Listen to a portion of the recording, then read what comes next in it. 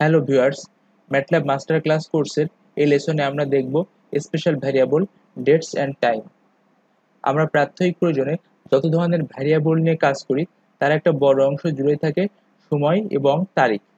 এখানে আমরা চারটা ভ্যারিয়েবল দেখতে পাচ্ছি।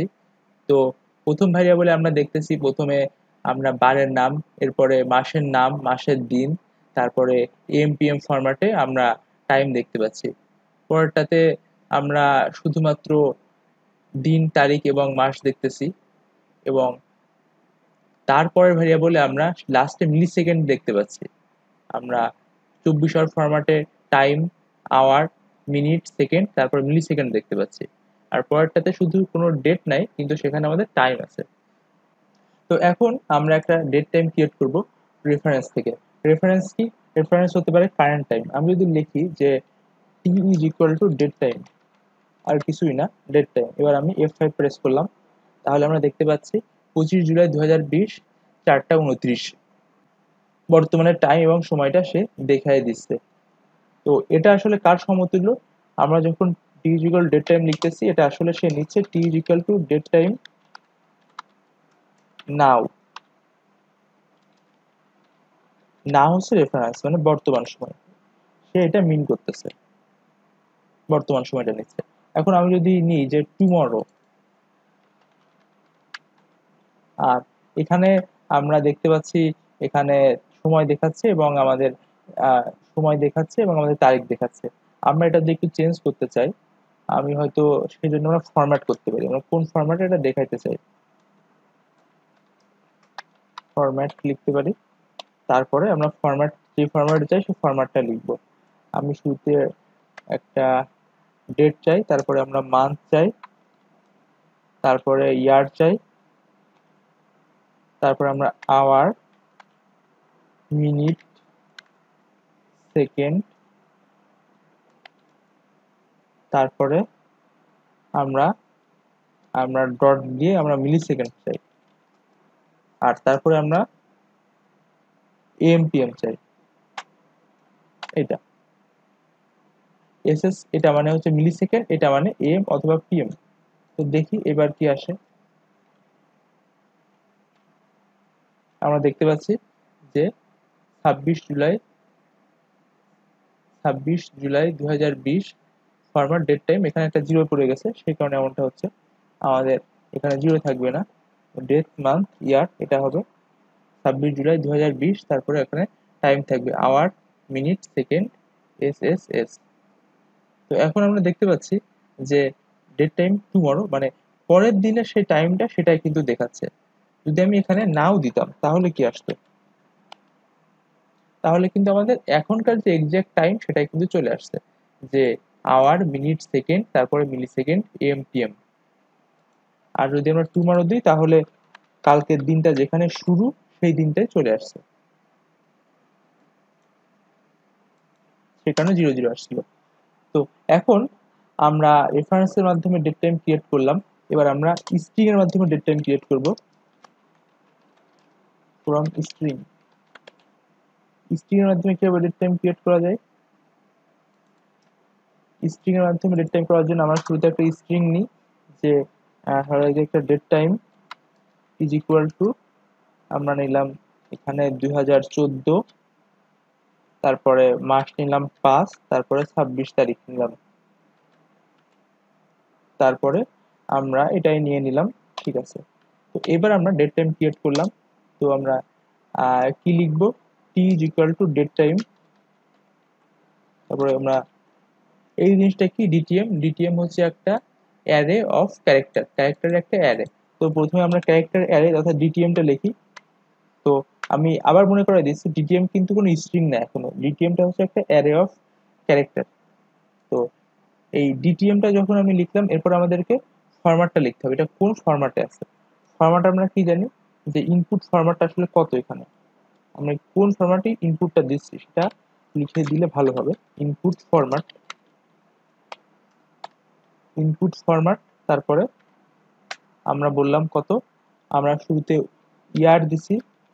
চার অক্ষরের তারপর একটা মান্থ দিছি, তারপরে ডেট দিছি। T is equal to date time এখন এটা দেখি কত আসে। এখন টি ইজ ইকুয়াল টু ছাব্বিশ মে দু হাজার চোদ্দ সেটা চলে আসছে। তো এখন আমাদের যদি আমি এটাকে যদি ফরম্যাটটা নাও বলে দিই, তাহলে সে কিন্তু ডিফল্ট খোঁজার চেষ্টা করবে। সেক্ষেত্রে আমি যদি নাও বলে দিতাম তাহলে কিন্তু সে পারবে আশা করি। তাহলে কিন্তু সে পারছে। সেটাকে আমি কিছু বলে দিই নাই তারপরে সে সম্ভাব্য জিনিসগুলো ব্যবহার করে সে কিন্তু বের করতে পারছে। যদি আমি বলে দিই, তাহলে আমি শিওর থাকব এবং কোনো ভুলের সম্ভাবনা থাকবে না। তো এখন আমরা, এটা আমরা অ্যারে অফ ক্যারেক্টার দিয়ে করছি। এখন আমরা যদি স্ট্রিং এর মাধ্যমে করি স্ট্রিং এর মাধ্যমে করতে পারি। আমি যদি স্ট্রিং বলি, সেখানে আমাদের কি করতে হবে? আমাদেরকে ডাবল কোটেশন ইউজ করতে হবে, অথবা আরেকটা কাজ করা যায়, আমি যদি স্ট্রিং স্ট্রিং ফাংশনের ভেতরে এই জিনিসটা লিখি, তাহলে সেটা কিন্তু স্ট্রিং হয়ে যাবে। তো এবার আমরা সেম জিনিস ইউজ করতে পারি। ডিটিএম আমরা লিখলাম যে ডিটিএম স্ট্রিং স্ট্রিং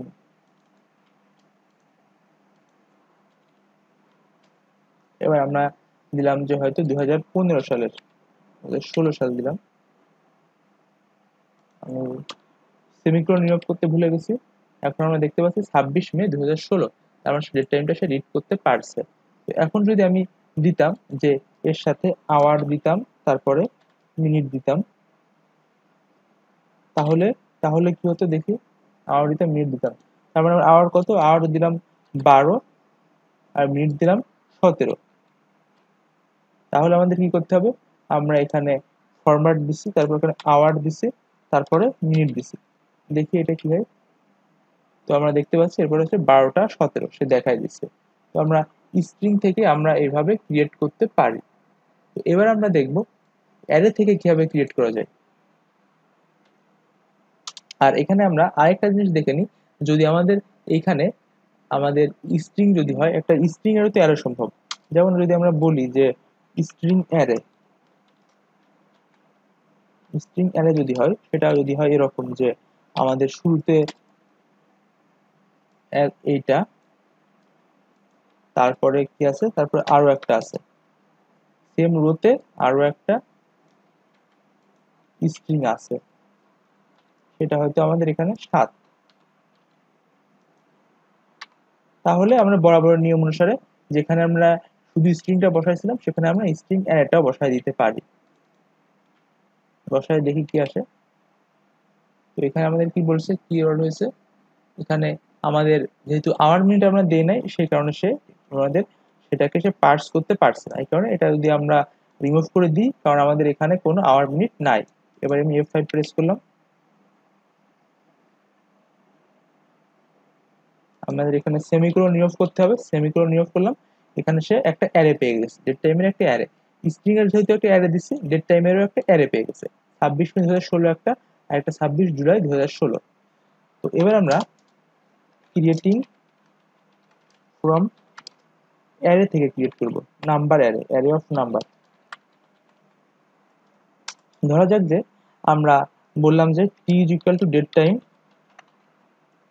তো আমরা শুরুতে নিব দু হাজার চোদ্দ সালের চার নম্বর মাসের তিন তারিখ। এটা দেখি, কি আসে? এফ ফাইভ এখানে দুই হাজার চোদ্দ সালের চার নম্বর মাসের তিন তারিখ, সেটা সে পেয়ে গেছে। তো এখন যদি আমরা এখানে অ্যারে নিই, আমরা বলছি অ্যারে ধরা যাক যে আমরা দুহাজার চোদ্দ সাল চাচ্ছি, তারপরে দুই হাজার পনেরো সাল চাচ্ছি, তারপর আমরা দুই হাজার ষোলো সাল চাচ্ছি। ষোলো সাল চাচ্ছি। তো একই হবে, যদি আমরা এখানে তিন দিই, তারপরে চার দিই, আবার সাত দিই। তাহলে তিনটা ডেট আসার কথা কিন্তু এখন কথা হচ্ছে যে, এখানে যে আমরা একটা চার দিলাম, তো এখানেও কি তিনটা দরকার? না। আমরা যেহেতু জানি যে কোনো জিনিস যখন এলিমেন্ট বা এলিমেন্ট করতেছি, সব জায়গায় তিনটা দরকার। এখন আমি যদি তিনটা দিই, তাহলে তো হবেই। তিনটা না দিলেও হবে। তিনটা না দিলে যেটা হবে, সে হচ্ছে চারকে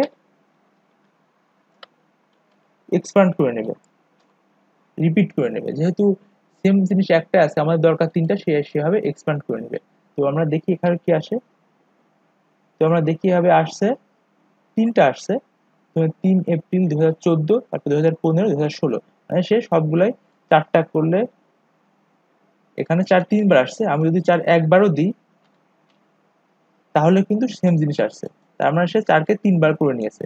তো এই ধরনের সামান্য জিনিসগুলো ম্যাটল্যাব কিছুটা সংশোধন করে নিতে পারে। এখন যদি আমরা এই তিনটা ইনপুটের জায়গায় আওয়ার মিনিট সবই দিতে চাই ডেট টাইম লিখব, তারপরে হয়তো আমরা দু হাজার উনিশ সালের জুলাই মাসের দশ তারিখ। তারপরে আমরা বললাম যে আওয়ার বারো মিনিট তেরো সেকেন্ড সেকেন্ড চৌত্রিশ মিলি সেকেন্ড কত? মিলি সেকেন্ড হয়তো আমাদের দুইশো। অথবা আমরা মিলি সেকেন্ড দিলাম না, আমরা ছয়টা রাখলাম। ইজিক্যাল ডেট টাইম এটা। এটা দিলেও কিন্তু সে ম্যাটল্যাব ক্রিয়েট করতে পারবে, এটা দেখি কি আসে।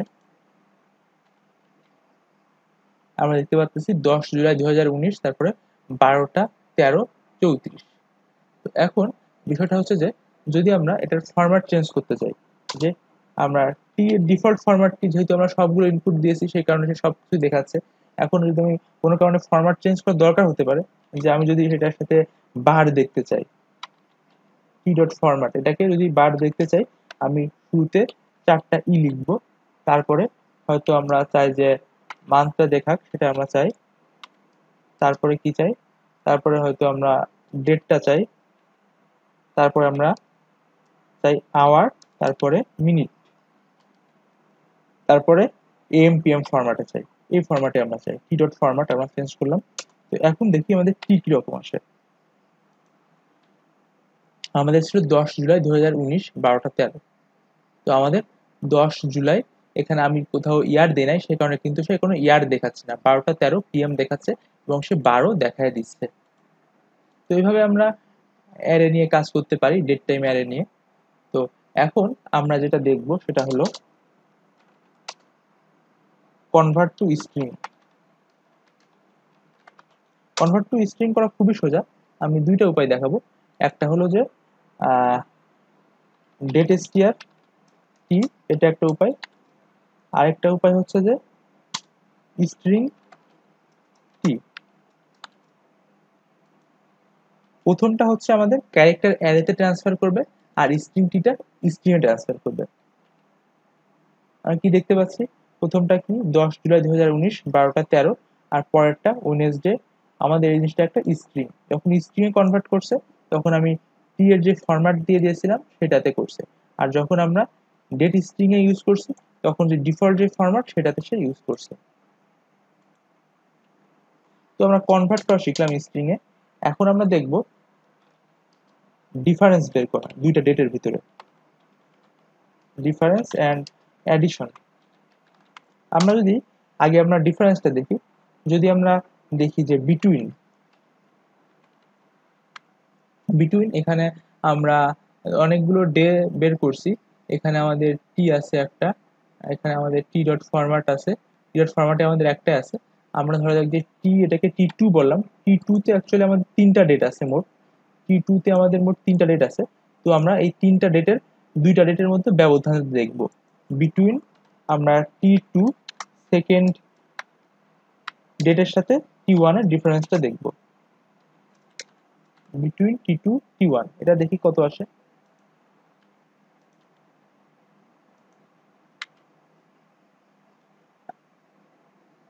আচ্ছা এখানে আমাদের ভ্যারিয়েবল কি ছিল? ভ্যারিয়েবল ছিল টি টু আমি ভুলে টি লিখছি শুধু? টি টু লিখতে হবে? আমাদের কি আসছে?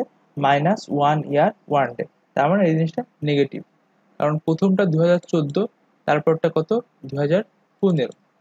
ডেট টাইম চোদ্দ থেকে দু হাজার পনেরো বিয়োগ করলে মাইনাস চলে আসছে। এই কারণে আমরা যদি শুরুতে ওয়ান দিই, শুরুতে টু দিই, তাহলে কিন্তু পজিটিভ আসবে।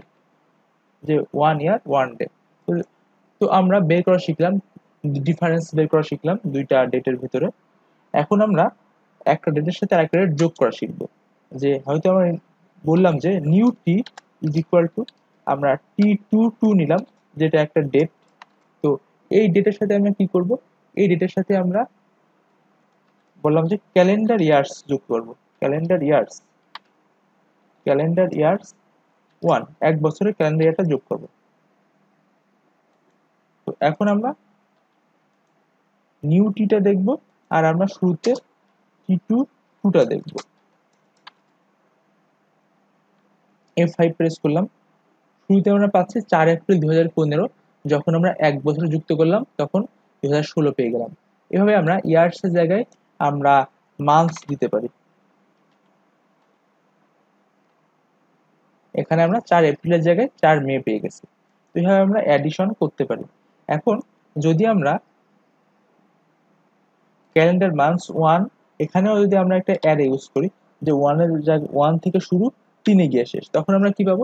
তখন এখানে যেহেতু প্লাস হচ্ছে, এখানে তিনটা এলিমেন্ট আছে, তো এখানে যেহেতু একটা ডেটই আছে, তো সে হচ্ছে একটা জায়গায় সে তিনটা বানায় নিবে। তো প্রতিটার সাথে সে হচ্ছে এটা এলিমেন্টের সাথে যোগ করে দিবে। দেখি কি হয়।